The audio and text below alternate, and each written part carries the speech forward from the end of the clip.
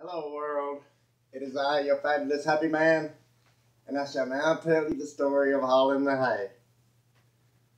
As I said before, we were working a huge cattle operation,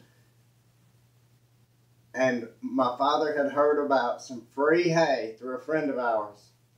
Free hay, all you wanted, I think it was 2,000 bales on the ground, baled, ready to haul, free to whoever wanted to come get it for some reason or another. So anyhow, on a farm you can't have too much hay. There's no such thing as too much hay. The more hay you got, the better off you are. Something for the cows to nibble on all winter. Uh, you can use it to seed out levee banks. You can use it to seed out bare patches in your pasture. And it's just good for all kind of stuff. Can't have too much hay.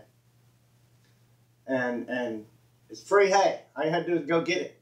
So we decided, we made our plan, we were going to get as much of it as we could. Going to try to get at least 500 bales. And the word had gone out far and wide, so there was going to be a haying crews from all over the place.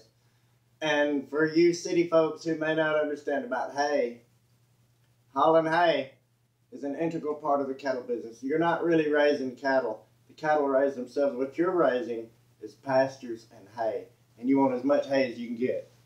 And another aspect of hay is that it's almost impossible to get a good, steady haying crew. There are commercial crews that go haying, and there are some farmers that are better organized and have larger families. But to find these hands to haul hay for you, almost impossible. The pay is ridiculous. It's the cruelest work on the farm.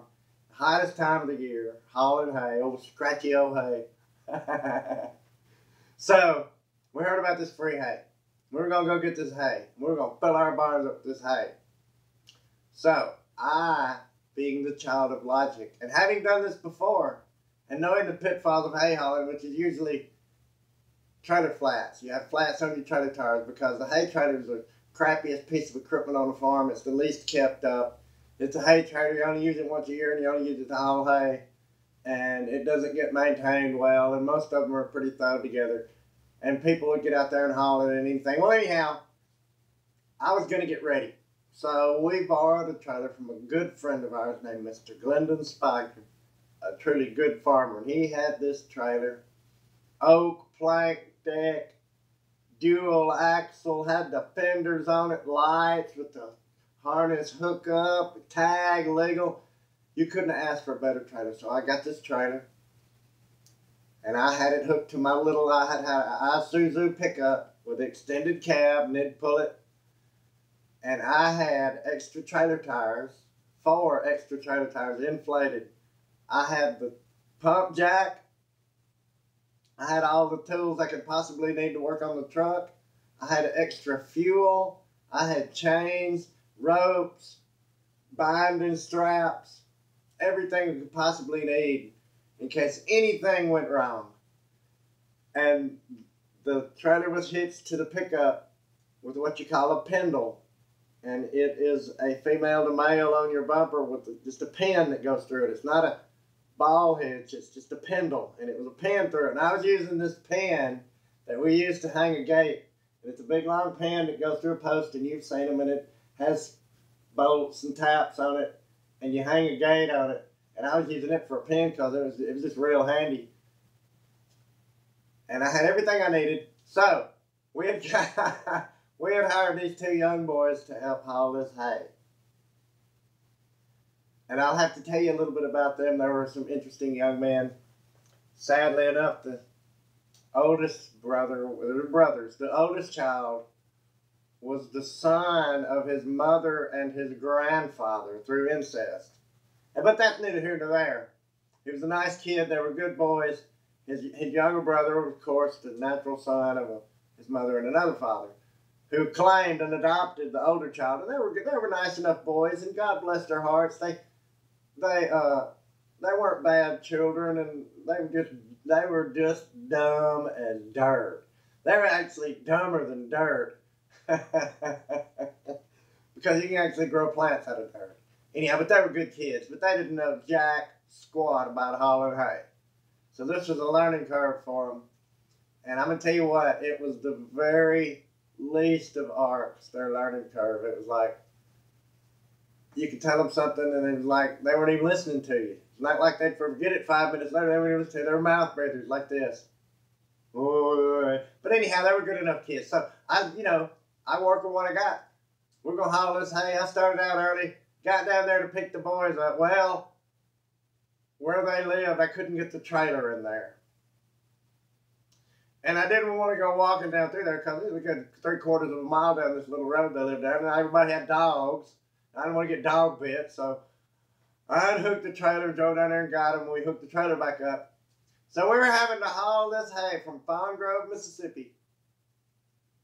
Well, to Fawn Grove, Mississippi, from Smithville. And I don't mean in Smithville, I mean like 20 miles east of Smithville, Mississippi. So we were having to haul this hay down. You can't haul hay on the interstate. There's an interstate highway that runs right down through there, and the uh, Mississippi Department of Transportation go insane if you haul hay on the highway.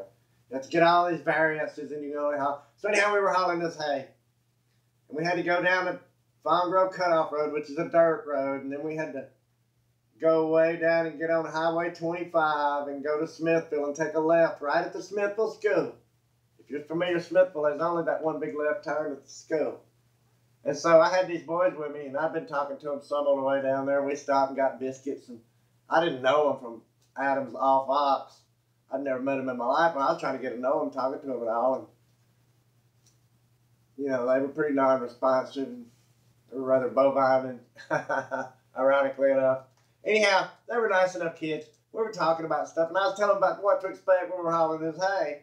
And I was making all these wry, sardonic comments about you know, all these people go to work were honking at us because we were in their way. And I said, ah, oh, look at these jackasses. All they're just, they don't, for, you know, they don't realize the farmer feeds the man. And if it wasn't for us, they wouldn't have any good meat to eat. And they're all just in a hurry to get down there to their factory jobs so they can sit down and drink coffee.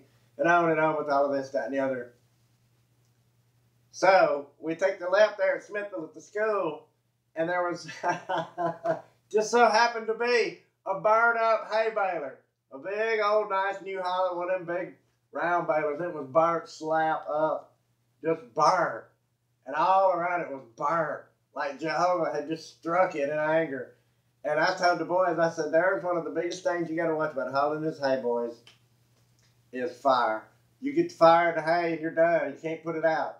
I said, you, one of these big round bales catches on fire, you dump it in a lake and it'll still burn. It'll be smoky bubbles coming out of it. It will not quit burning, and you can't. Even the fireman will tell you you can't put it out. And uh, uh, so we were talking about that, and you know, there that thing was that burned up baler is a monument to like not being real careful and, and the things that can happen. So anyhow, we have to take a left at Smithville, and we go all the way down to the end of the paved road, and this hayfield is just huge. I mean, it's huge. So there's plenty of hay. So we're getting this hay. In fact, I got this little truck. I can run it in first gear and let it putter along. We can throw the hay on there. So I was having to teach the boys how to stack hay.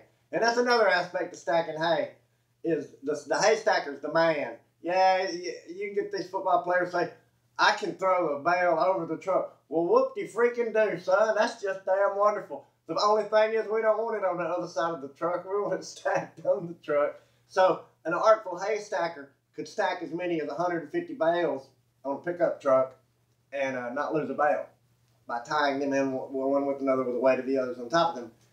Anyhow, I had to explain all this to him, and one of the poor boys had worn shorts, and I told him not to wear shorts, and his poor old knees were just ate up. Anyhow, we were hauling this hay, and we were getting it on. We were the first ones out there. We had the first load, man. I got that load back over there down that circuitous snake-like Byzantine route we had to take all those back roads and dirt roads. This huge load of hay. I mean, I was loading it, and we were filling the barn up. We had already gotten about, man, we probably had gotten 450 bales, and uh, we were on our uh, uh, our load there. We were, I think, we were at 600 bales. With I had managed to get 150 on it, and we had 450 in the barn already, and uh, man, we were getting it on. The other people were admiring us.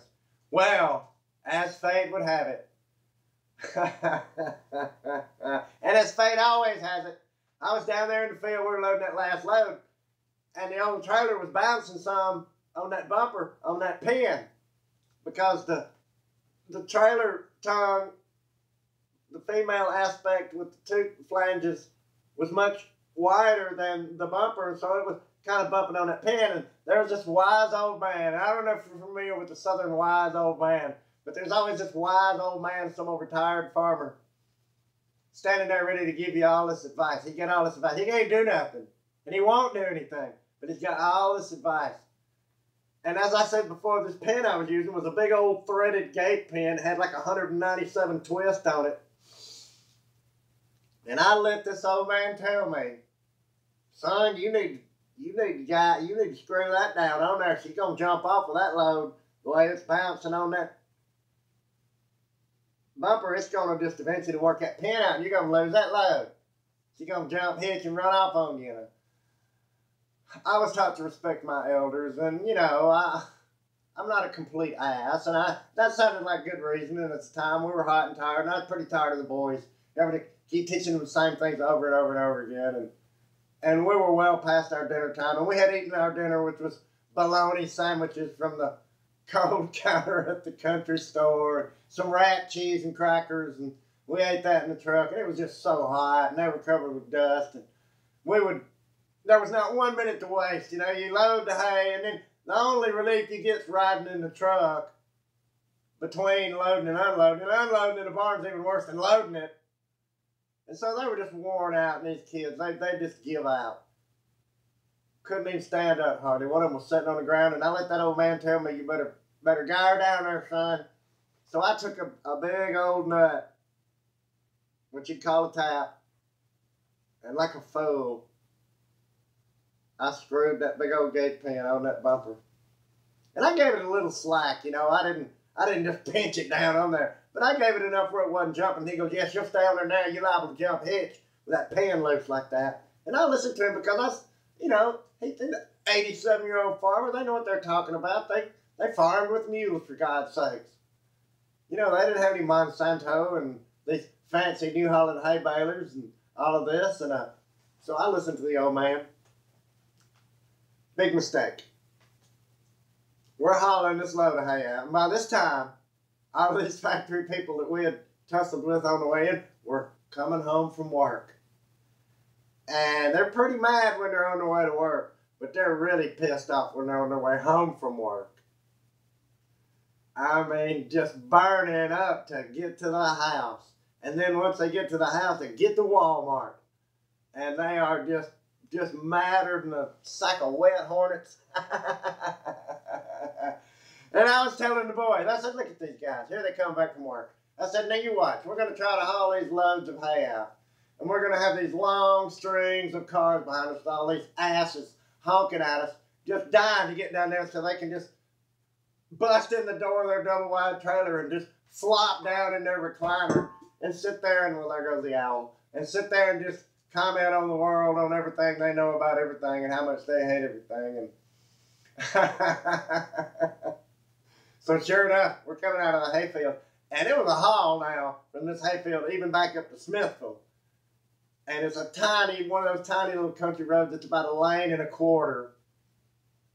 And it's one of them places where the mailboxes are on both sides. These people were so independent they weren't going to be forced to put their mailboxes on one side of the street. Oh, hell no. They had mailboxes on both sides of the street. So you couldn't really, or this road, so you really couldn't get around it good. And the ditch cuts were pretty radical. And everybody had these giant iron culvert driveway drainage things, and you didn't want to hit it. And it was just hard to get around. And plus, I was hauling this giant load of hay, and I said, you what, these guys are going to get behind us, and they're just going to be cussing us and honking. us. And hell, we're the one that's feeding them. We've been out here doing a man's work, old, old timey traditional American man, and they just been sitting up there in some factory goofing off about 15 minutes out of every hour, and we've been just uh, getting it. I said, you watch them, and I was making all these cynical comments. I said, there'll be some ass that will see a clear space and try to pass us in the ditch. And sure enough, somebody did it in a pickup. Come just to Dukes of Hazzard and all around down through there. Spinning gravel just to flipping us and bird and cussing us come up right in front of us. So we could hear them. I went around you could hear them out the windows hollering at us. You, you son of a bitch, go, pull over. And what I was taught about hauling is Mississippi is an agricultural state. on township, county, and state highways, agricultural equipment has right of way. And I was taught when you're hauling a load, don't stop and pull over and let them people go by, or you'll never get where you're going. The best thing you can do is haul your load in a straight line, and don't worry about all the people behind you honking. Let them honk. It's an agricultural state, you have the right of way. So, we're going, this is like 15 miles up to there, I bet we had a trail of 80 uh, just just these really really angry angry angry country people trying to get to Walmart and get their checks cashed and whatever they, they might some of them might have even been had irritable, irritable bowel syndrome or just had irritable syndrome from the get go. Anyhow, we're we get up to Smithville and I said, now you watch, we'll turn up here on the blacktop, get on this two line, and every one of these jackasses just gonna punch it like they're in NASCAR trying to get around us. And you watch, some of them will be cussing at us. I said, we're just gonna ignore them. And so we make the turn at Smithville, and I mean, we got this load of hay. I got the trailer loaded and the truck, and I mean, I got her loaded. so we're easing around this curve, and these people are all just honking and honking and honking at us. And I had noticed on the way people were honking at us. People were coming out on the porch of their homes to look at us as we were going up this long road with this procession of people behind us that were just honking, and everybody behind us honking their horns and hollering. And I was telling the boys, you know, I don't listen to those assholes. And as people were coming out on their porches and watching us go by as we went up the road to Smithville, and I said to the boys, look, they're all on their cell phones calling up there telling them, check out this pack of redneck assholes blocking the road. Well, yeah, we make the turn at Smithville. These cars come roaring by us. I mean, just flying. I said, look at these jackasses. And this one car stopped, and the woman rode down her window, and I couldn't see what she was saying. I thought she was saying F you. You know, you go, I thought she was saying, you go F yourself. And she was saying, You're on fire! You're on fire! And I thought, What? And I looked in the mirror and looked back, and by God, we were on fire. And not only were we on fire, we were on fire. And I thought, holy shit, we were right in front of Smithville School. And I mean, if you've ever been there, they got this cut bank like 30 feet. And it's like, if I tried to go down that, it was just going to flip everything. And then I started thinking real quick, I mean, microsecond burst of, okay, okay, okay, what can I do? What can I do? What I got to do something. What I want to do is get away from this burning trailer. And I didn't want to go down that bank, and I didn't want to pull out into traffic and get over in the field and burn up where, because it was right next to, ironically enough, the burn up hay baler. And there wasn't, I thought, okay, I'll unhook from the trailer. I got that pin in it, I'll just pull the pin and leave it and let the son of a bitch burn up. Well, got back there and I,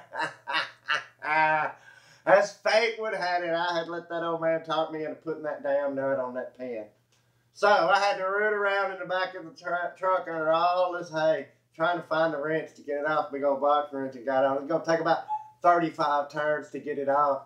And all the time I'm doing this, this trailer's on fire and it's stacked way above my head and the truck, and I'm down in between it and it's on fire. And bits of falling fire, uh, burning hay are falling on me in fire, and oh, it's just hot. And the two, I was talking to the boys, help me. I thought we'll throw this hay burn in half, this trailer, and then just roll down that 30 foot hill down there and it can just go out or whatever. Well, that's not what you do. We rolled these hay bales off of there, and hell, that just made it burn bigger. It, it just exploded in this huge ball of flame.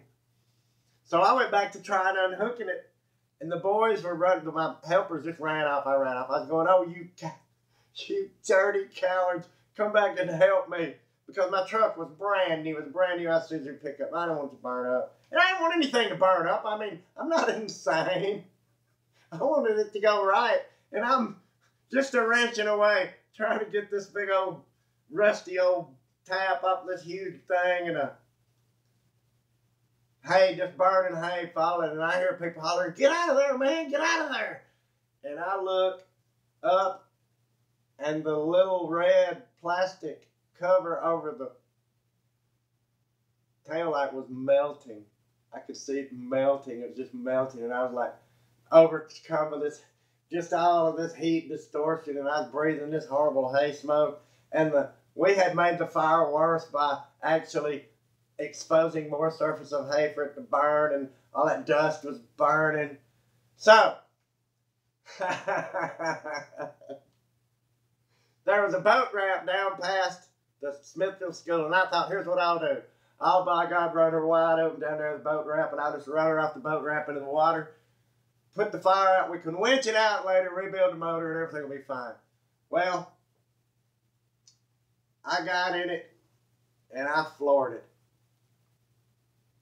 And the flames were getting, I could see flames coming over the roof. So what I did is I turned down the cutback into the Smithville baseball field, Smithville High School baseball field parking lot. And I started doing hot laps. And one of the boys ran down there and said, What I said, Call the fire department, damn it.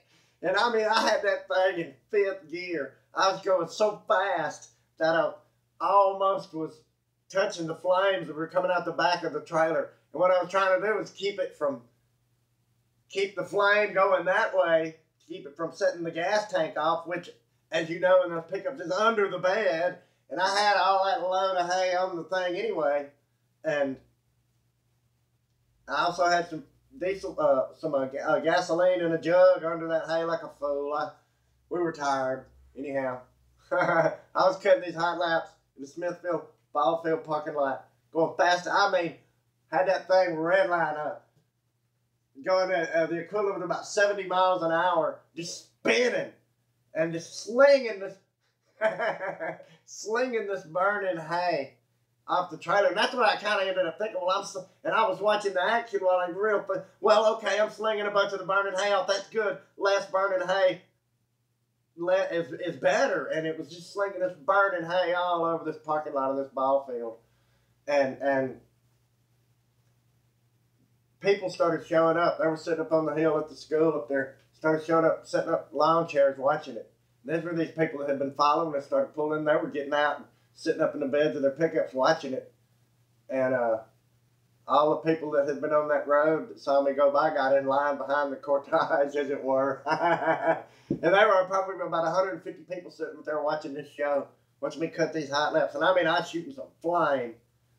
It was huge, unbelievable, going as fast as I could. Well, the fire department showed up.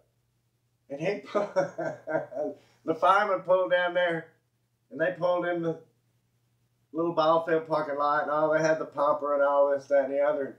And he was going, "Stop!"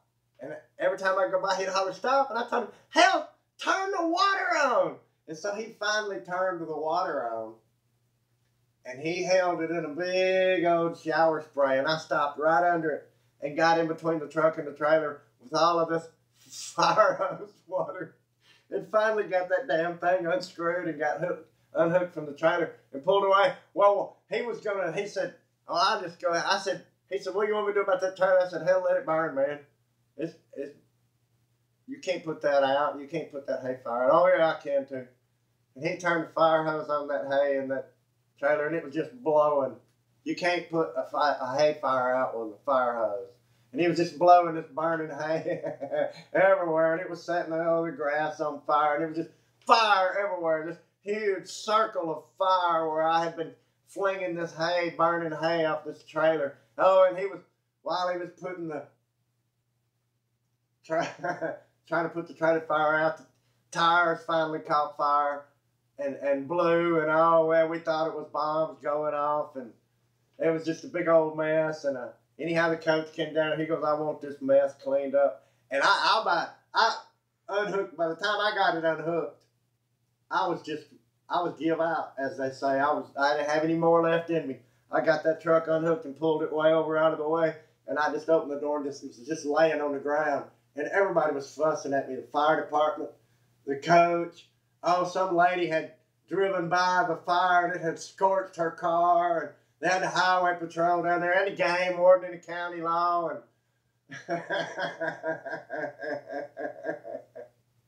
so finally anyway I came to good and I recovered myself and we get back to the barn, and it was like, I went back down there the next day to clean it up, and poor old trailer was burned up. All those beautiful oak planks were burned out, and the uh, tires was burnt off of it, and it was just burnt. The metal had just buckled where it had burned and it just burned, and you know, it burned all the oil, grease out of all the barrels, so it would all had been totally replaced. And they was just all wet, black, just hay. Probably, uh, well, 150 bales worth of it just about strode all. It took forever to get that all cleaned up. to clean up. but that's the story of hauling hay, or as we call it, firewalks with Happy Man.